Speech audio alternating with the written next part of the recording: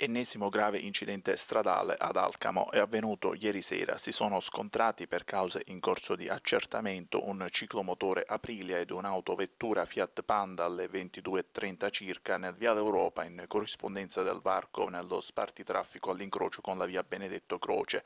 Feriti il conducente e il passeggero del ciclomotore, due ragazzi rispettivamente di 17 e di 18 anni, entrambi alcamesi.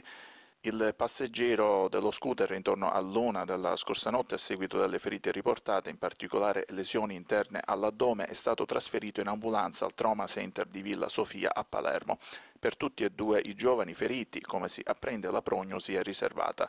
Secondo una ricostruzione fatta dalla Polizia Municipale di Alcamo che ha effettuato i rilievi nel luogo dell'incidente, sia lo scooter che l'autovettura stavano percorrendo la carreggiata sud del Viale Europa il ciclomotore avrebbe in fase di sorpasso urtato la Panda che stava per effettuare una manovra di svolta a sinistra per immettersi nel varco della via Benedetto Croce. Sono tuttora in corso approfondimenti per chiarire del tutto la dinamica dell'incidente.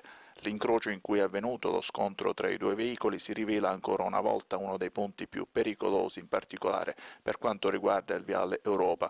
Proprio in quel punto purtroppo già in passato si erano verificati altri gravi incidenti anche con conseguenze nefaste. Tra l'altro la presenza della pista ciclabile anche lungo questo tratto del viale Europa chiama tutti alla massima attenzione e prudenza. E proprio qui nel Viale Europa, all'incrocio con la via Benedetto Croce, oggi sono in corso degli interventi di rifacimento della segnaletica orizzontale. Vedete alle mie spalle eh, gli addetti a questi interventi e la via Benedetto Croce eh, all'incrocio con il Viale Europa rappresenta uno dei punti più pericolosi del tessuto viario urbano. Bisogna porre massima attenzione come dicevo poc'anzi al fatto che eh, qui è presente anche la pista ciclabile e eh, senza dimenticare che purtroppo oh, c'è la pessima abitudine eh, da parte di non pochi di non rispettare le elementari eh, norme del codice della strada anche per quanto riguarda i sensi di marcia da seguire per eh, evitare incidenti.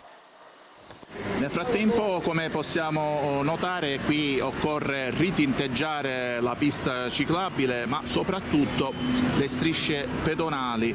E, e come apprendiamo gli interventi di rifacimento delle strisce pedonali eh, dovranno essere effettuati in un secondo momento rispetto agli interventi che sono in esecuzione questa mattina. E quindi dovranno eh, trascorrere da quello che abbiamo capito ancora diversi giorni, comunque aspettiamo conferme di questo, certamente qui sono molto sbiadite le strisce pedonali come vediamo, qui sono addirittura assenti in quest'altro eh, tratto di carreggiata del viale Europa e proprio qui si trovano importanti istituti scolastici.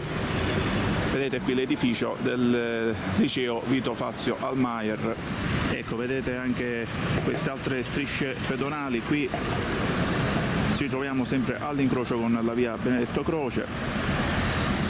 E qui tantissimi studenti pendolari quotidianamente percorrono questi tratti di strada così importanti per poter raggiungere le fermate degli autobus.